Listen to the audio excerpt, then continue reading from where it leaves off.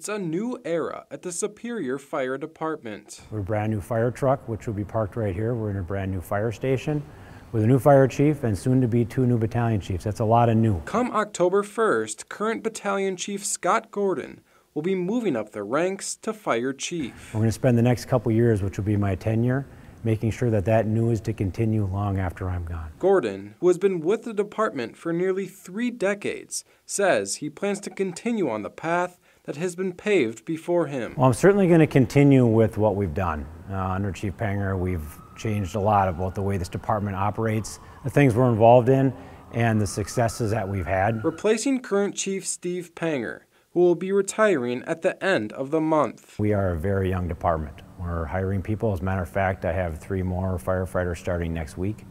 Just started three a couple months ago and hopefully hire four more here at the end of the year. So we're a young department. Gordon admits the promotion will take some getting used to. Now I have to get used to coming off of shift, which means I'm not going on calls anymore, but I'm also working on training the person who's going to take my spot. But it's a change he says he's ready for as Panger passes the baton. I just know that he's it, it's going to be a really easy transition for him uh, to fire chief, and I'm and I'm really excited for him, and I'm excited for the department. Gordon says he plans to retire from the department in the next three years.